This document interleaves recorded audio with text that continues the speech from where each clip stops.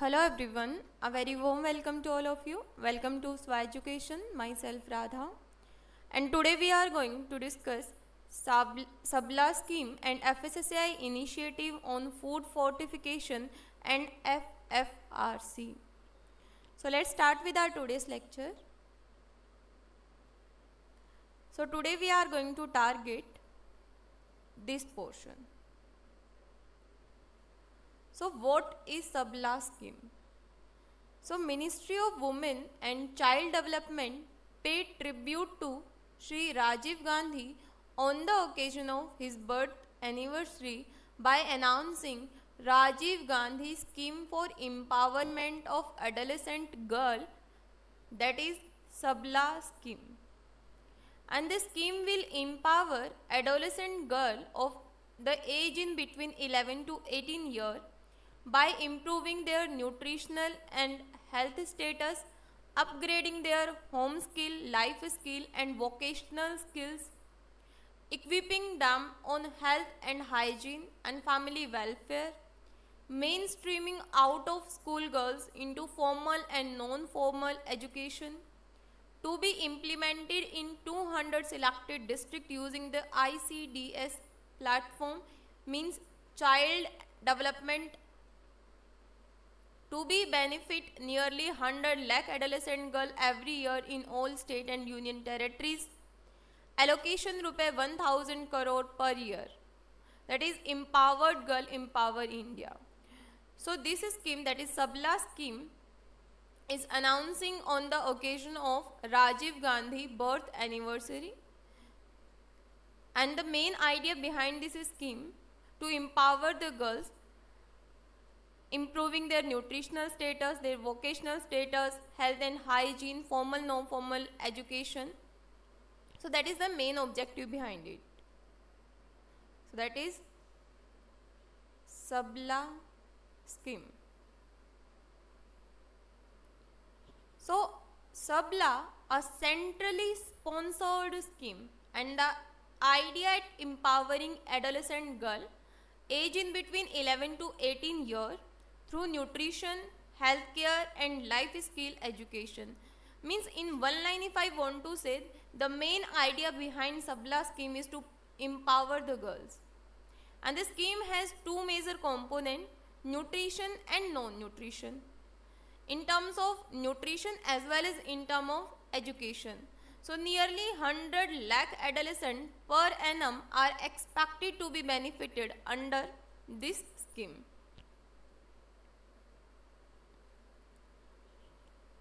So the objective of Sabla scheme to enable the adolescent girl for self-development and empowerment. By education, Sabla scheme, the main idea is that to enable adolescent girl for self-development. Improve the nutrition and health status by nutrition because as we say that Sabla scheme working by nutrition and non-nutrition program. So nutrition program for their health status and educational for their self-development and empowerment. And promote awareness about health, hygiene, nutrition, etc.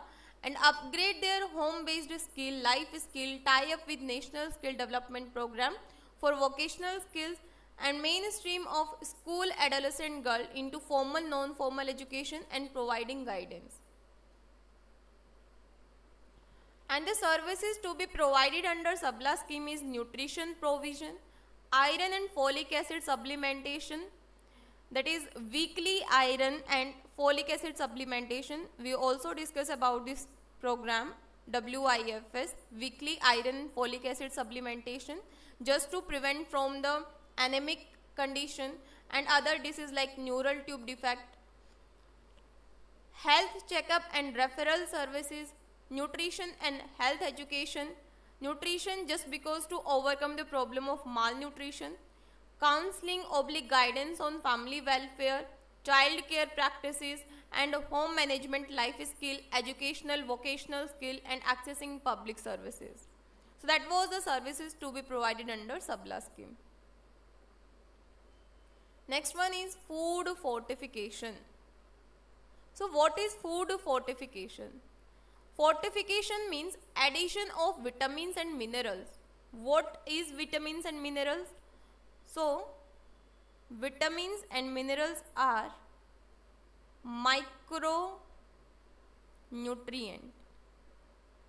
They required in small quantity for our body but they are very important. So, fortification is the addition of vitamins and minerals or we can say micronutrient such as mineral like iron, iodine, zinc, vitamin A and vitamin D to staple food such as rice, milk and salt to improve their nutritional content. So all these vitamins and minerals should be added on to the food to improve their nutritional content and these nutrients may or may not have been originally present in food before processing. They should be present in food before processing or should not be.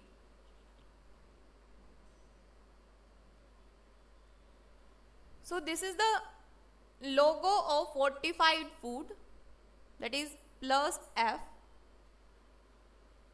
and fortified food in fortified food vitamins and mineral are added for your daily needs.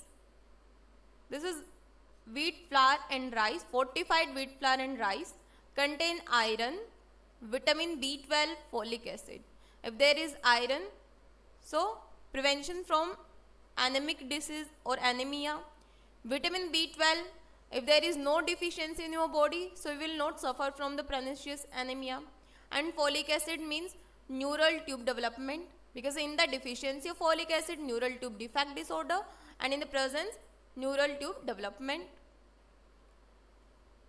And its fortified milk contain vitamin D that supports strong bones and vitamin A, retinol that prevent night blindness.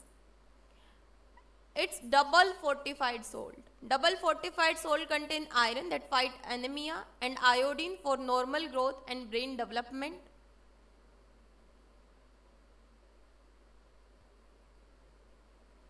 Food for thought. Fortification of eatable is aim at fighting malnutrition.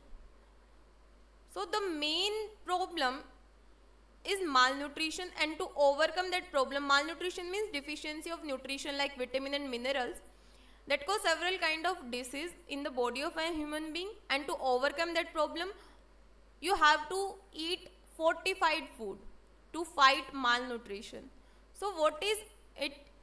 Fortification is the addition of vitamins and mineral such as iron zinc vitamin d a to staple food such as rice milk and salt to improve their nutritional content.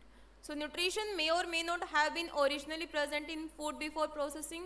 It is a simple, proven, cost-effective and complementary strategy is used across the globe and the Draft Food Safety and Standard Regulation 2016 prescribe the standards for fortification of salt, oil, milk and rice. Fortified thali that contain double fortified salt, iron and iodine. Iron prevent anemia and iodine prevent like thyroid gland related problems and goiter and other diseases as well. And fortified rice, fortified wheat flour, fortified oil and fortified milk. Circle of nutrition. It's a Fortified thali or we can say circle of nutrition consists of vitamins, minerals, iron, iodine, vitamin B12 that make fortified food as a part of your lifestyle to overcome the problem of malnutrition. So what is the need of fortification?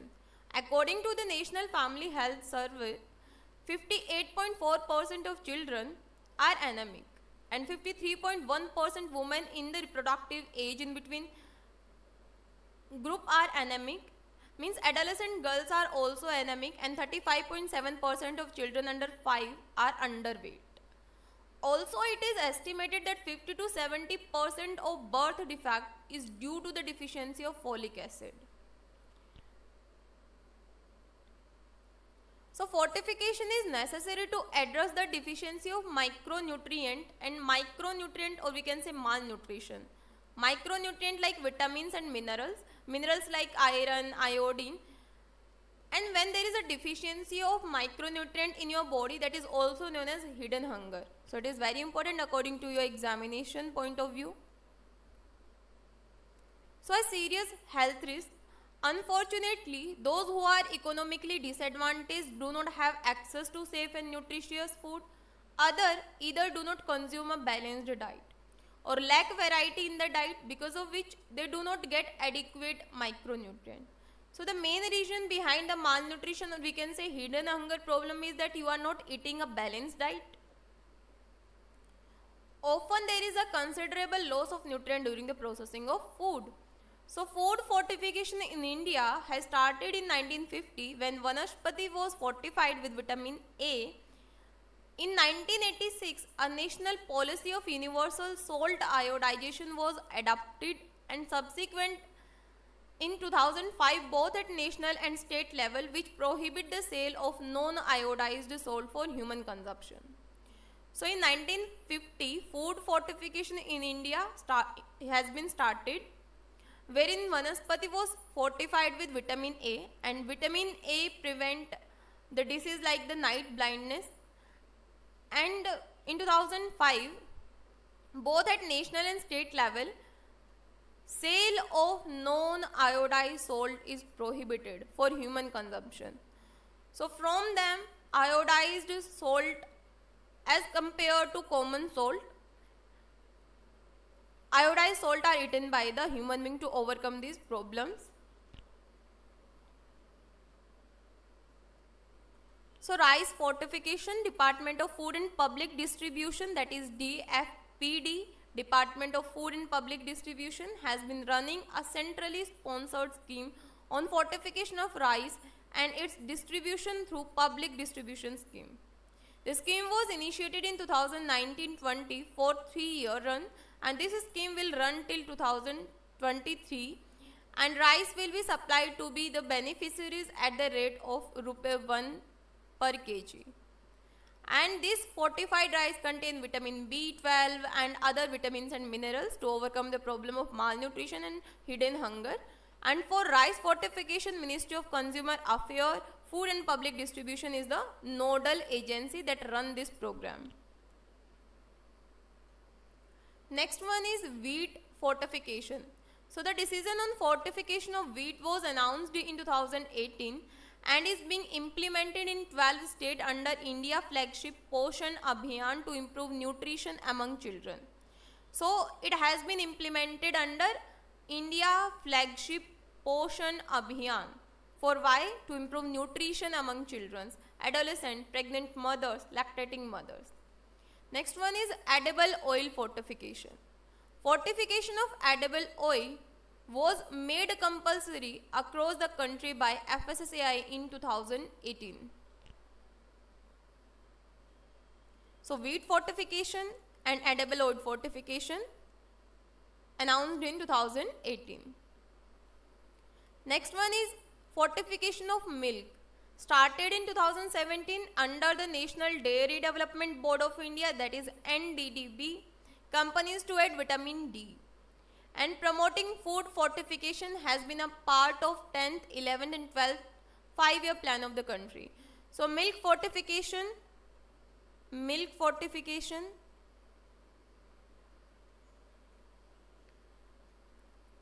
started in 2017 under NDDB that is National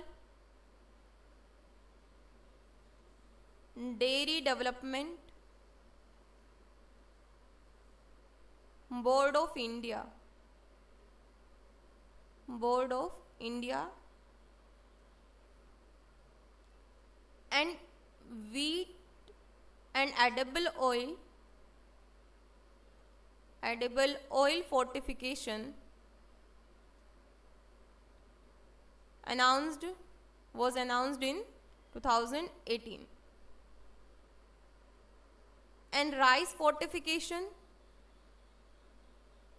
rice fortification initiated in 2019 in between 2019 to 20 under DFPD, Department of Food and Public Distribution.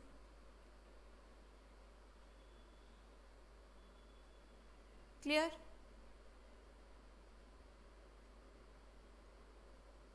And first time food fortification started in 1956 when vanaspati was fortified with vitamin A.